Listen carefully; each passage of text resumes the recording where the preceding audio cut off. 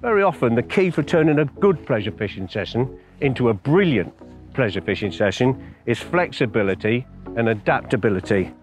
And I'll show you exactly what I'm on about.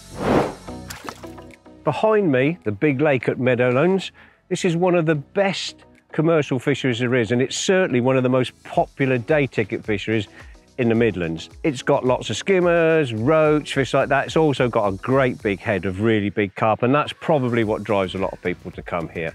But the carp tend to come in the margins late, as they do on a lot of venues. And if you're coming for a day's fishing, rather than just sit there and think, oh, I wonder when the carp are going to feed, I think there's a way that you can fish without needing a lot of kit or a lot of bait on one line to catch lots of different fish. So basically, from the time you sit down, you start catching fish and that goes through the skimmers and then onto some carp. Anyway, I've got a couple of ideas to make that work. Uh, I'll show you the kit that I'm using. It's really, really simple. There's nothing hard about what I'm about to do. And uh, let's see what the end results are. First bite of the day. Uh, I'm hoping to start with um, skimmers. I'm starting with an open end feeder, ground bait and maggots. I've chosen my line and my line actually is as far as I can fire 8mm pellets, but we'll come to that later. But I've started, as you can see, with a cage feeder, looking for skimmers. And there's my first fish of the day. It's actually my second cast, but a decent, a decent enough skimmer. But for a pleasure session, I've been on the box about three minutes and I've already got a pound skimmer in the net. So my tactics for, you know, even the pleasure session, and today that will be this, is uh, I'm going to carry on doing this because we like them. They're decent enough skimmers. I'm hoping to catch a few skimmers, and the later the day goes, the more chance uh, of the carp feeding we've got. But as I go through the session, uh, I shall start to feed a few 8mm pellets. I shall just unclip the feeder, clip a bomb on, probably put a slightly heavier hook length on, and have a look with the carp. But just at the minute, the wind's into me, second cast, nice skimmer, so I'm going to crack on with the maggot and the open end feeder for at least another hour and see what we get. Uh, I'm hoping that that's another skimmer. Now, like I just said a, uh, a, uh, a, few moments ago, I am clipped up as far as I can fire an 8mm pellet. Now, I'll leave that clip on. Some people will be like, well, how can you fish clipped up for a carp because obviously they, they, they scream off and you know the, the clutch kicks in and you need to play them. Well, I tell you what I do. I hit the clip way back here. So when I cast, the rod's back here and I hit the clip and I am, that gives me about six to eight turns of line back on the reel. So I do have a bit of an insurance factor should a, a big carp run off a little bit. I've got a little bit of insurance factor.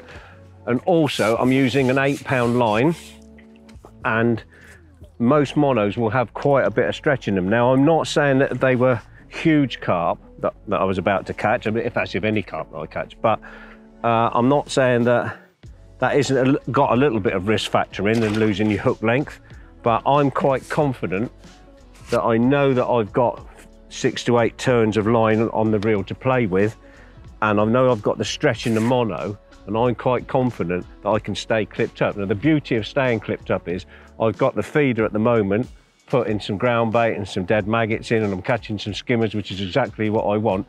But I am gonna step it up uh, to putting some pellets in and I'm gonna start looking for carp. Now the carp will respond to pellets, I'm pretty sure that they will anyway. It's a pretty simple change, but the idea for any pleasure fishing session for me is you need to learn a bit about the water and perhaps what pegs you need to go and sit on but it's about catching fish. You know, it doesn't really matter. We all like to catch big fish, but them skimmers are quite enjoyable. And I'd rather sit catching skimmers and putting a few fish in the net than just sitting there fishing the margins or doing nothing or just sitting out there with a method thinking, well, it'll be carp o'clock soon, but you know, I'm not really doing anything much. Anyway, I'm going to carry on with a few more skimmers and then we'll start to make a few changes and see if we can get a carp or two interested.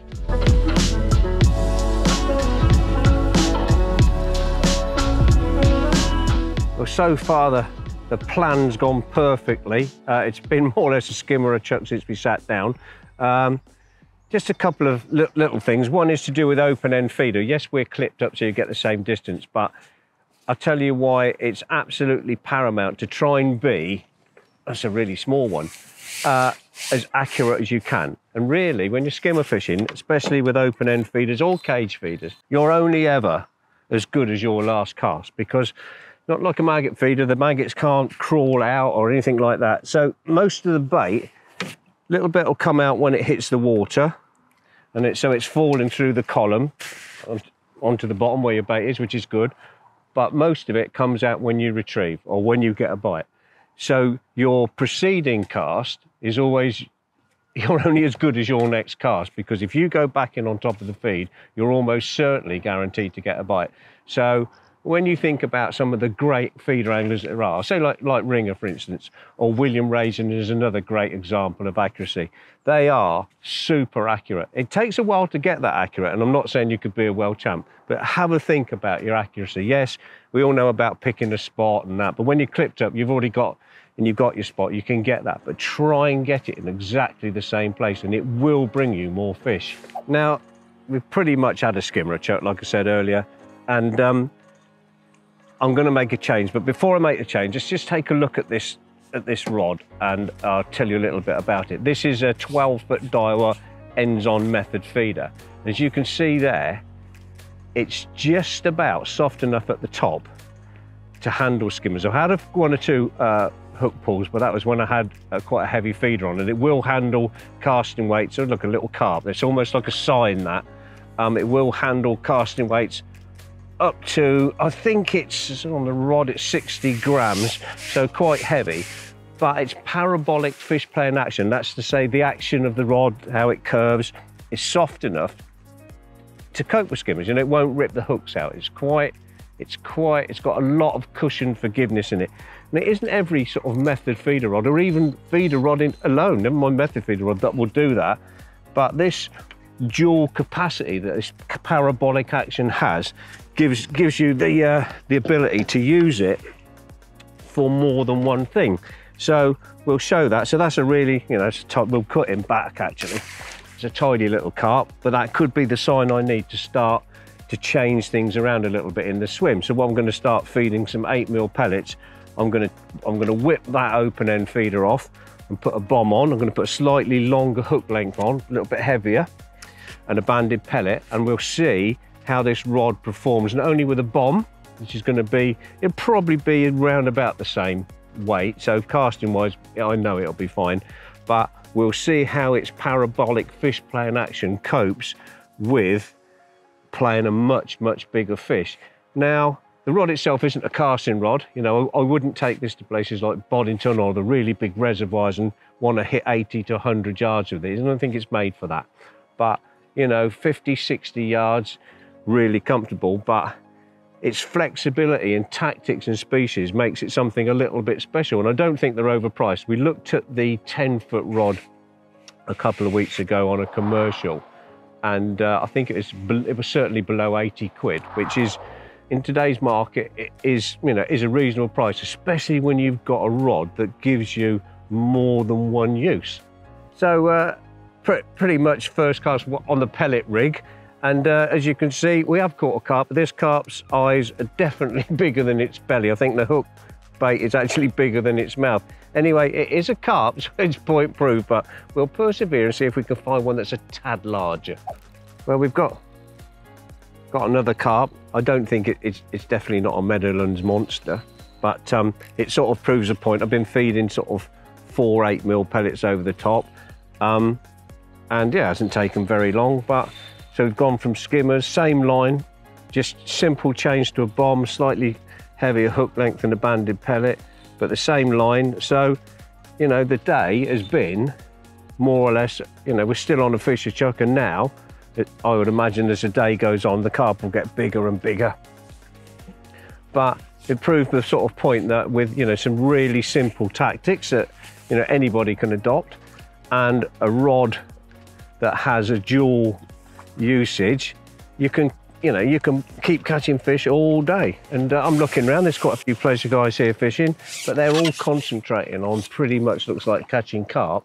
But I think the day would be so much more enjoyable if you use your tackle to keep catching fish, because surely when you're pleasure fishing, you just want to keep catching fish. That certainly isn't anywhere near the biggest uh, fish in Meadowlands, but you know, it's quite pale actually. It's quite ni ni nicely scaled, very much a ghosty, but we'll persevere and see if we can get a proper one.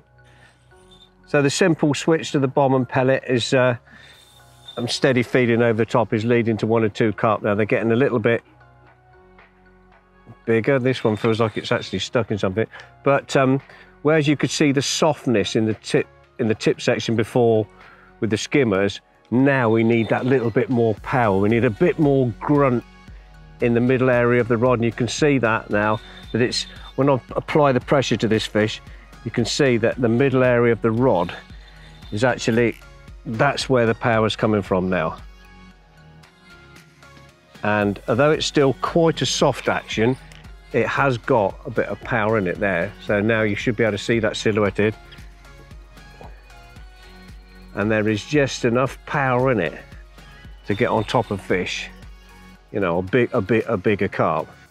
Like I said, it's not, it's definitely not a casting rod. It's not super powerful, but it's, you know, it's, it's not, it's quite an enjoyable rod to fish with, especially when there's bigger fish like this. There's plenty of feel through the blank. And you know, no, actually, there's no fun in playing fish on a broom handle of a rod anyway. I mean, sometimes it's a necessity. You know, if you've got to cast a long way, you, you'll, you'll need the rod to have a, a high loading area for, to cast a long way with the lead. But just for fun, you know, you can't beat that. It's a, it's a seamless curvature, as you can see. There's no flat spots, which is impressive. There's no, there's no recoil or twist on the guides, which means the blank is lined up really nicely. Um, but Daiwa build basically most of their rods up, uh, up in Scotland, uh, and they're they're very good at that. Uh, so, as it's a Daiwa rod, I, I wouldn't I wouldn't expect anything else really. Not always easy to achieve a rod, uh, especially when you put a quiver tip in the end that has no flat spots, because it's you're changing one material to another, and hence some of the long distance rods have uh, long distance feeder rods that is have hollow tips, and that that reduces that a little bit, and it also give, makes them a little bit more when you cast.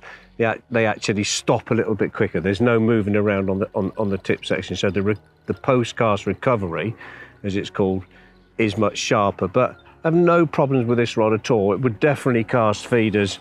Uh, I've actually, I actually kicked off uh, when I put some feed in with a with a 50 gram feeder, and it's and it's rated at 60. So by the time it's low, fully loaded, and I I threw it out to what 30, 40 meters, no problem at all. So casting wise, the, the rod's more than capable of that. Like I say, you, do, you, you probably, because there's not quite as much power as there would be in, in some uh, method feed rods, you, you know, you've got to take your time a bit more, but almost, I'm, I'm pretty sure that this isn't, this, is, this isn't a pound fish. Um, it's probably a pretty good fish. So, but I think the rod's given a great account of itself here, you know. Again, I'm not fishing particularly heavy. It's an eight pound reel line. And like I touched on at the start of the piece, um, this rod isn't meant for shock leaders, but an eight pound mono reel line. I think this is the new N'zon uh, sinking mono that's uh, basically designed for feeder fishing, but most eight pound mono lines have quite a bit of stretch in them. So, you know, you it does give you that little bit of added insurance when you're playing a big fish. You do get that stretch. Not always ideal when you're fishing at distance, but you know, uh, because it, it sort of lessens the it lessens how you how you see the bite. But it is an insurance factor when you're playing a decent fish. Well, it was quite a long fight, and uh, hence the cut because it did go on it. But I think it's because it's got it's got um, ghosty tendencies. But my word, it didn't half tug. But there we are, simple change of tactics, really easy to do. Anybody could do it. And that's that's the sort of fish you can expect to catch, you know, fishing a bomb and pellet, which after a net full of skimmers makes it a very, very good pleasure fishing day.